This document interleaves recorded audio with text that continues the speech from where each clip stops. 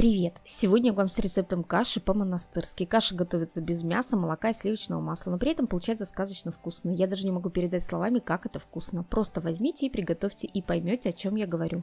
Кстати, можно готовить в пост. Лук очистим, вес 300 грамм, порежем кубиками. Морковь очистим, вес 300 грамм, натрем на терке. Грибы 400 грамм нарежем пластинками. У меня сегодня шампиньоны. Можно взять листные грибы, предварительно отваренные или замороженные будет еще вкуснее. Крупы отмерим по 100 грамм, рис, гречка, пшено и перловка. Хорошо промоем. Готовить кашу будем в мультиварке. В мультиварке она получается томленой, как будто ее приготовили в чугунке. У меня чаша объемом 5 литров. Кстати, удобно, что у чаши есть ручки, и они не нагреваются. Это очень удобно, не нужно бояться обжечься. Еще у моей мультиварки снимается внутренняя крышка, что удобно в уходе. И сверху мультиварки матовая поверхность. В таком исполнении на ней не видно отпечатков от пальцев и царапин. И ухаживать одно удовольствие. На дно наливаем растительное масло 40 мл, устанавливаем режим жарко, в чашу кладем сразу лук, морковь и грибы и обжариваем все вместе минут 7. Сначала обжариваем под крышкой,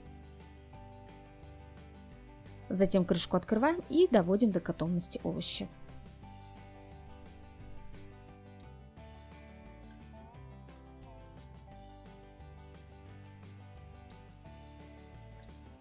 Теперь готовые овощи убираем из чаши. Чашу ставим обратно. Вливаем еще 40 мл растительного масла. На дно кладем гречку. На гречку кладем третью часть овощей с грибами. Разравниваем, обязательно добавляем черный перец.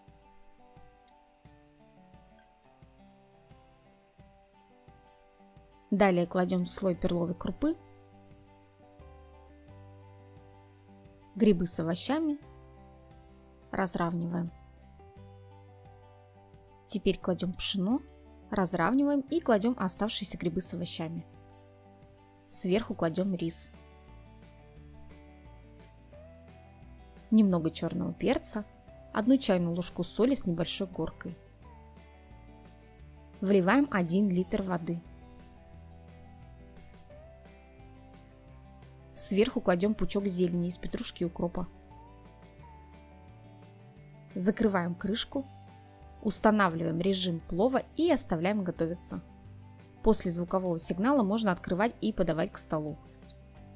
Если вы еще не готовили так кашу, обязательно приготовьте. Уверяю вас, будете готовить постоянно и не только в пост. Если вам понравился рецепт, ставьте лайк, поделитесь в соцсетях или напишите комментарий. Ваши отзывы – самая лучшая награда для меня. Подписывайтесь на мой канал и не забудьте нажать на колокольчик, чтобы не пропустить новые видео. А я вам желаю приятного аппетита, кушайте вкусно и будьте здоровы!